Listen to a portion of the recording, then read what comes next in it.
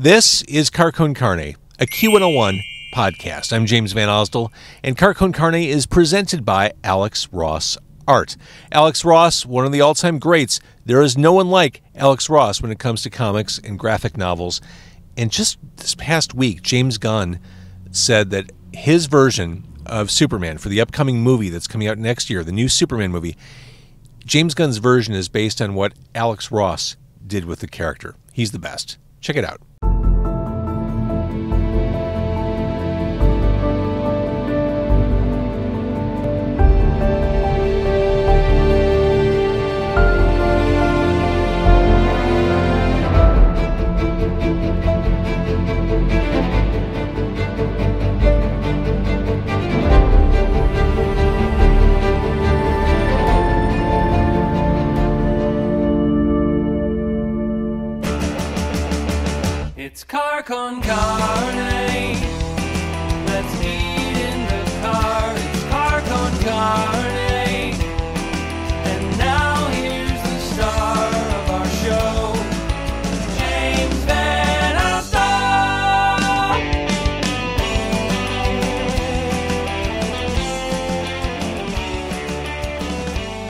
Car Con Carne, also sponsored by the American Lung Association. This coming Sunday, it's happening. The fight for air climb.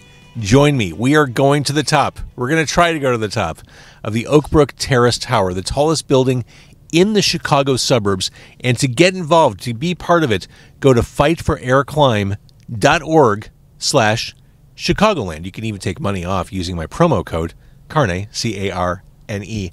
It's an indoor experience. It's Sunday, March 10th, entirely customizable. You can go up the 30 floors once, twice, three times the stairwell, whatever works for you. I will be there. I want you to be part of it with me. The fight for air climb doesn't matter how fit you are, doesn't matter how old you are. You can do this, and we can do this together. The Oakbrook Terrace Tower, Sunday, March 10th, the fight for air climb. I will see you on the stairs. Car Con Carne also sponsored by Easy Automation. A smart home connects virtually all the technology in your house. With an Easy Automation installed smart home system, you and your family can control nearly every device and system in the house in ways that are easy and fun to use. Transform your living space with cutting edge home automation. Experience seamless control over your audio and your video, your lighting, your climate, security, and more. Embrace the future of smart living. Your home, your rules. Get a quote by visiting easy easy-automation.net or call my guy Dan. His back pocket is ready for your phone call. He's got the phone on vibrate. He's sitting there. He knows this episode's coming out. He's waiting for you to call him. Call my guy Dan to talk about smart homes. Easy automation. 630 730 Okay, here we go. And it begins with the L going overhead. This bodes well. It is Car Con Carne on Lake Street, just west, just west of Ogden. I'm James VanOsdol with a returning favorite, returning guest cinephile, Stephanie Sack. Hello. We're outside a harp factory. If I had a nickel, uh, we'll get into the reason why, but we're outside of Healy Harps on uh, Lake Street. This was your choice. You'll explain all this at some point, right? At some point. One of the many reasons to have you back on is the fact that movies suck. we, we've talked about this.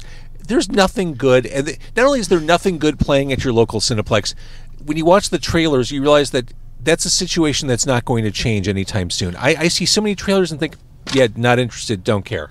So I just saw a trailer the other day at a movie theater chain that shall go unnamed, and I felt as if I had been physically assaulted after That- I that saw the like a trailer. that seems like a little much to say. Like how? I was exhausted. That- I was, that sounds more I was, appropriate. I, I I felt as if something had come at me in a way that did not have my best interest in mind. And it was a movie trailer. Was it a horror movie or was it just a, an obnoxious blockbuster? I have no recollection. Well, the point is, there's a lot of trash out there. In fact, it's predominantly garbage out there. Like, I, I don't see trailers before a movie and think, oh, can't wait to see that. Can't wait to see that. Oh, good. I That feeling's gone. And I come to this place for magic, but the feeling is completely gone, which is why you're here. You provide alternatives to traditional blockbuster cinematic fare. You are plugged into the art house theater community, the, the cinema community, the, the stuff that's on the screen that we should be paying attention, attention to that we may not be aware of. You're, you're our guide. Why, thank you. It is an honor to to guide, to be a guide, and I like to think that I am guided myself to the fun places. Oh, we've got a little uh, sonic companion above. Too. But perhaps those people on that L are off to something offbeat, Perhaps. or you know, hyper local, or a little underground, Or maybe just home. or maybe just home. Maybe Yeah. all of those are the same. True.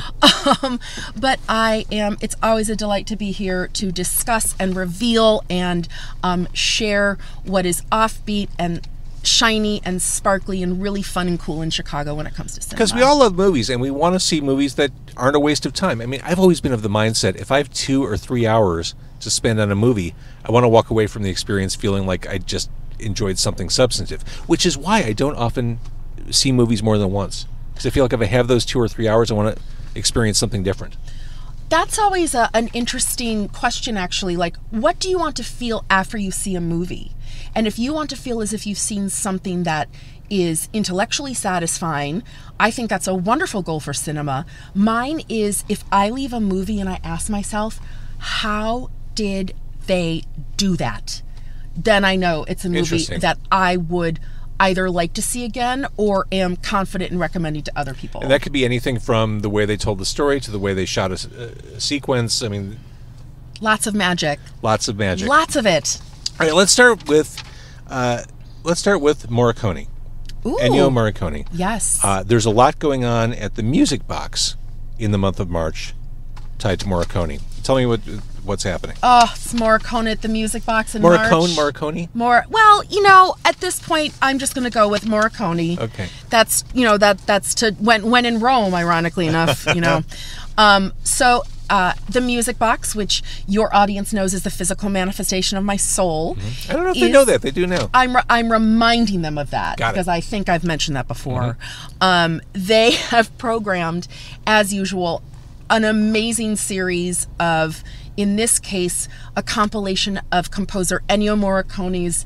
I would say most iconic, but also most offbeat, most underappreciated, and in some ways most revered films that he scored. He was a very famous composer, Oscar winning, uh, um, lauded over generations. He worked Over with 400 films. over 400 films he, he scored. And he worked with directors who were high art, lowbrow. Um, the list of people with whom he worked is a million miles long. And one of them with whom he worked for three films, Dario Argento, actually five films, but three films. L. L. What the L? Too easy. Too ah low hanging fruit.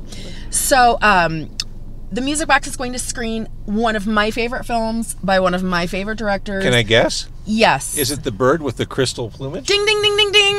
Or should I say cheap, cheap, cheap, cheap, cheep? Uh huh. It is- 19, 1970. This is Argento's first movie. It is Argento's first fully directed, fully scripted, fully realized film. Okay. Uh, what makes this a must see? Well, first of all, it is bonkers. It really doesn't make Everything a lot you of like sense. seems vaguely bonkers and lurid. bonkers and lurid. I feel like we just came up with like a record label. Or, Bonkers or a and- 70s porn title. Again, those are sometimes the same. So this one is not particularly lurid, although I love it when it's lurid. This is bonkers. It's it's like Argento burst on the scene of Italy cinema, of Italian cinema in the late 60s, behind the, uh, um, doing things on crew, um, writing, assistant directing. And then with The Bird with the Crystal Plumage, he burst on the international scene as this very accomplished, uh, uh, very swing for the fences young director. And man, this is just quite a debut there's all sorts of crazy cinematography because it was lensed by Vittorio Storaro, a longtime favorite of mine in terms of cinematography. And he worked with um, on Apocalypse Now, Okay. and I mean, he's just another master. So you've got these two masters working together for the visuals. You've got Argento's uh, classic giallo film. A giallo, of course, is when you've got mysterious killers running around glamorous cities with black gloves, like you know we might do later tonight. Um, and this one at the Music Box, of course, is one where I will absolutely be Dario Argento as part of the Morricone overview at Music Box in March on March 22nd. Be uh, there. Now, can we talk about Morricone uh, without See. Without mentioning the good, the bad, and the ugly? I think it's impossible, so we just did that's that. the that's the first thing that I think comes to people's minds. Well, that is arguably how he crossed over to the American Yeah. market. That's really the film with which he is most associated in uh, our little neck of the cinematic woods. But also, the thing is part of this. Cannot beat a screening of The Thing at the Music Box. If you have not seen John Carpenter's 1982 The Thing, or even if you have, stop everything, nab your ticket, and go see The Thing. Would you say stop everything? I just did. You did. Also, Red Sonja, a fistful of dollars for a few dollars more. Uh, the Untouchables. Mm. Yes. I mean, is there more Chicago experience than seeing that movie at the Music Box? I could make a, f- I could suggest a few more titles, but Yeah. I, no, not right now. And Once Upon a Time in America. All That- beautiful that's a film. films. Yep. Yes, man, that's a that's a what a vision. More than 400 scores for TV and film. Ennio Morricone. Uh, awesome programming at Music Box. Before we get into some of the other stuff that, that's rattling around in your head, Mm. I, I do want to mention March 10th, I'm teaming up with the American Lung Association to help them save lives. I've committed to climbing the tallest building in the suburbs. You know what that is? No clue. It's the Oakbrook Terrace Tower. Oakbrook Terrace It's Tower. true. I'm going to climb it on foot, taking the taking the stairs.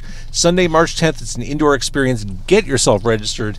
Fightforairclimb.org slash Chicagoland. And you can take money off, 10 bucks off with your registration when you enter the code CARNE, C-A-R-N-E, at checkout. See you on the stairs. That's what we call a mid-roll.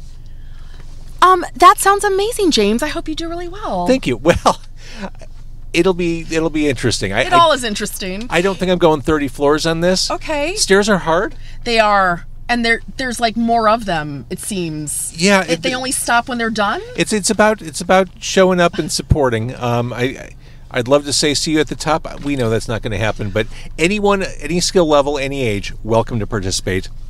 fight for Fightforairclimb.org. I love it. But wait a minute. I do want to take a quick sidebar and congratulate you for your win. Um, Thank you. ladies and gentlemen of Chicago and elsewhere, I'm hanging out with a winner right now. do you want to? You always were when you did this podcast. Uh, Car Con Carne for the second winner. for the second year in a row, uh, best music podcast as voted by the readers of the Chicago Reader. I'm incredibly grateful. Thank you for mentioning that. Mentioning that, Stephanie. But I'm yeah, very proud of you. you. Congratulations. A lot of hard work, as you know, goes into this. Yes. So we're in front of a harp factory, which I've probably driven by this intersection a cajillion times. A kablillion even. and I don't think it's ever registered to me that there's a harp factory at the corner of Lake and Ogden. And not only is there a harp factory at that corner, it says harp makers to the world since 1889. Like this. This is the harp been- place. This is it. We're at the epicenter of harpdom. This is this is yeah. If We're, you we're, at a, we're Mecca. We're making we're making our, our pilgrimage if you want a harp, don't fuck around. You're coming here. this is your place. right now. right.